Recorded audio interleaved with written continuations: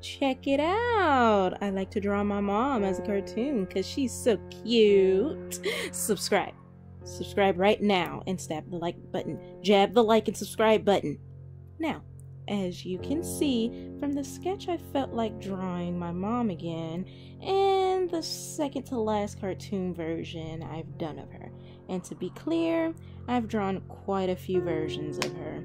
I'd show you them, but mm, I don't really know where they all are.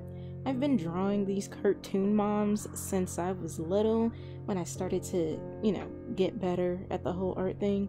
I guess I could describe the ones I remember to you if you'd like, but I won't know you actually want more of my content until you subscribe and stuff, okay? Struggling artist over here, you guys. I've been doing art since always and having little to no luck generating a following. I mean, I stuck pretty consistently to being myself and sharing slash doing what I like and posting content somewhat regularly, kind of, I guess. You know, when I stopped being scared of posting my art online for just anyone to see. But even then, I suppose it's not like I've posted all of my art in every single doodle or sketch or finished drawing, especially if I hated it. My mom has actually supported my artistic inclinations and is always trying to get me to stop letting my fear of failure hold me back, which is why I started making what's it called? Money moves years ago. Or at least try to. Uh, I'm pulling the trigger on one of my ideas I'd been sharing or hinting at for a few years now on a couple social media sites I'm on. It's um it's a brand line based on myself called Miss Light Brown Pink. That name is also a childhood nickname of mine based on my skin color, if that wasn't obvious. I've uh, set up an Instagram page now. Go follow me on there, you know, if you want. You wanna, go do it. I was worried about implementing more of my business ideas and trying to make money as an artist, being seen as me trying to, you know, hop on the trend or take advantage of a real issue or even just like me being seen as being insensitive to all these shenanigans that's going on. That just, ooh, I really don't like the state of things right now. But, you know, all those kind of things, despite the fact that I've always been, guys, always been trying to do this. And by this, I mean to make money with my art it's it is a skill. It is something that i've worked on and grown and got better at over the years since you know i first started drawing as a kid you know? More practice more better. More better more great. More great pay me you know? Um where was i uh well yeah i was talking about the whole fear thing. So yeah, then then I was reminded that well, reminded of this and pull this up here. It's um building your business and growing your bottom line as a black business owner is activism. So that's um something I was reminded of both verbally and in uh a post that was sent to me. Um, and when I read that, I was like, oh yeah, you know, because clearly I had forgotten. And I felt better, which is always a good thing, feeling better. My mom is really smart. And even with the stroke that almost caused me to lose her, and actually, you know, changed her mentally because that's kind of how strokes work. They just f up all your everything in some way, some more than others, and that's if they survive. It was very scary. Um, yeah, so even though it changed her mentally, she's still really smart. Still really very smart. And I love her, of course. I love my mom. very happy that I love my mom and that she loves me. Because I know that there's, um, sadly, plenty of parental relationships that are not like that at all. So I'm blessed in that regard. Another reason I draw her, of course. So, yeah. She's cute. Could I could be biased cuz she's my mom, but objectively she's pretty freaking cute, you guys, okay? And I love her. And she's also a pretty good, you know, was practice for drawing and referencing just for like things, you know, different hairstyles, movements, poses, expressions, even outfits, you know, that kind of stuff. So, yeah, I just, I guess I'm not really sure what else I want to talk about in this. I mean, you can see what I'm doing. Do you want me to talk about my process with it? Well, let's see. My mom likes really long eyelashes since that's what I'm currently working on. She likes mascara, makeup, that sort of thing. She's quite girly, actually.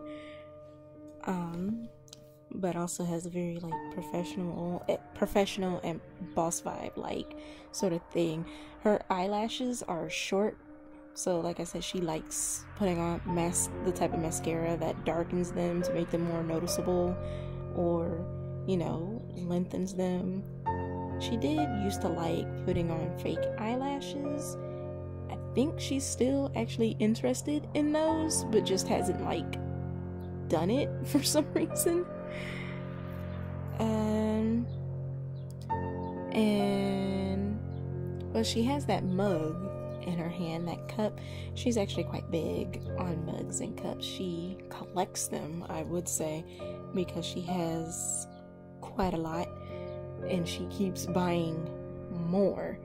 Like, we're already pretty much out of uh, cabinet space because of all the mugs that she's bought and so there's like barely enough room for all the cups plus all the mugs that she keeps getting in there. It's kind of funny. Um but the mugs themselves are really nice and cute like, you know. So that's why I included that because she likes her mugs and what she likes drinking out of her mugs is actually tea. I mean, don't get me wrong, she likes coffee too. Loves coffee coffee seems to have a weird effect on her sometimes. Like it'll wake her up, but then a lot of times also it would help her go to sleep. So it's like I guess depends on the coffee and how it's made. Other times it doesn't really seem to do much for her other than, you know, hydrate her, quench her thirst kind of thing. Which I find hilarious. Me personally, I don't like coffee. I'm not a fan. Like it can smell really good and it can also just be like, you know, tasty. like in the first few sips or whatever, like as I'm drinking it. But then that aftertaste that I get is usually just not my thing. It's even gross sometimes. And I can't even tell you about how my body reacts to it. Like, it just does not agree with my system. I actually get like stomach aches or like indigestion or something. And so I can't, like, even when I eat something and drink coffee, it's still a problem. So, yeah. That's why I included a mug. that's that's her thing in these in this cartoon version that I've done of her. She likes her mugs. She likes drinking from her cute mugs. The mugs do have to be cute, by the way. They can't just be, you know, some plain mug with absolutely nothing on it. She likes cute ones, pretty ones, and whatever.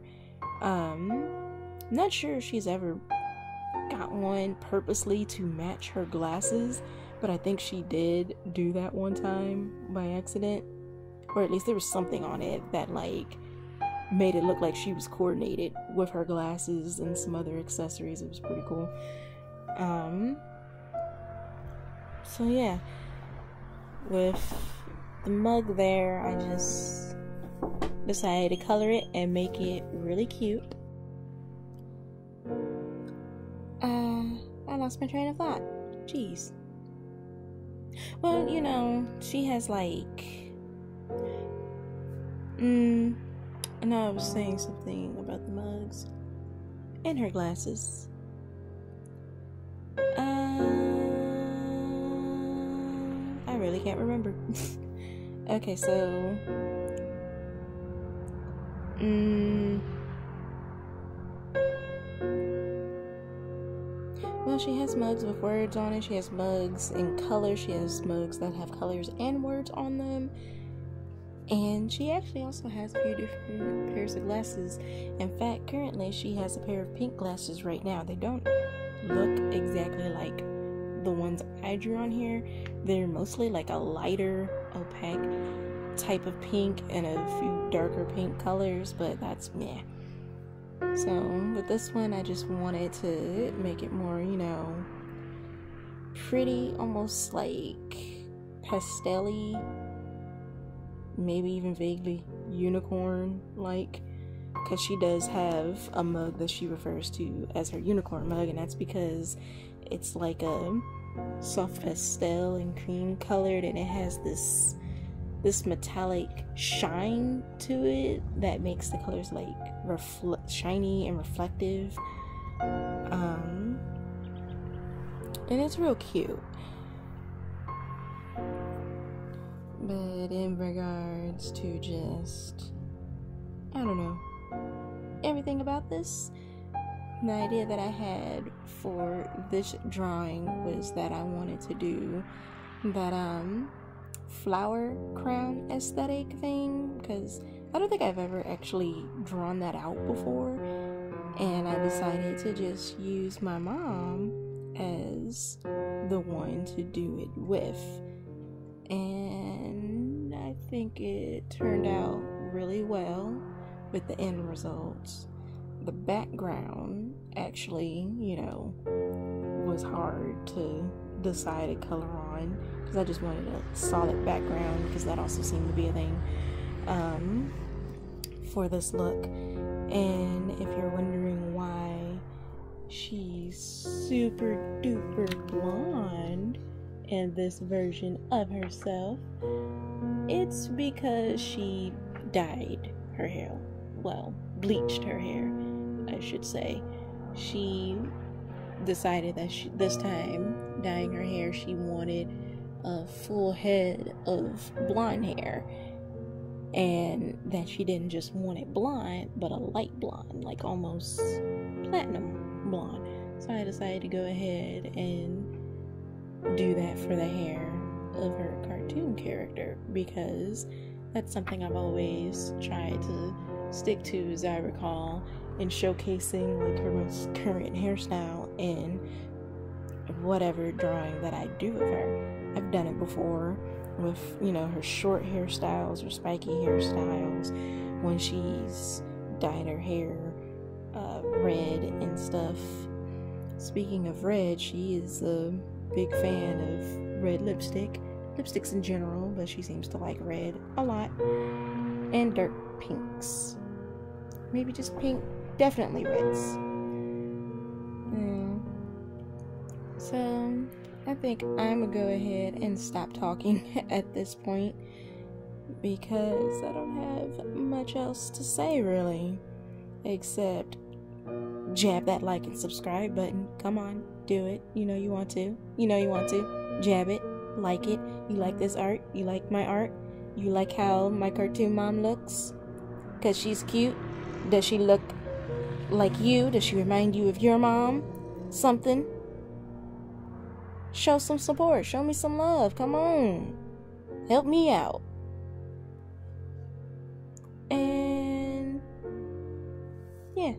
I'm gonna end it here.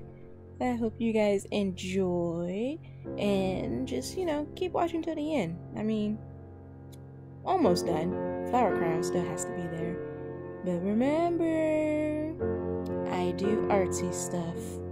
So come on and join in so that you can stay notified on what it is I'm doing and creating. Because I do a lot of stuff.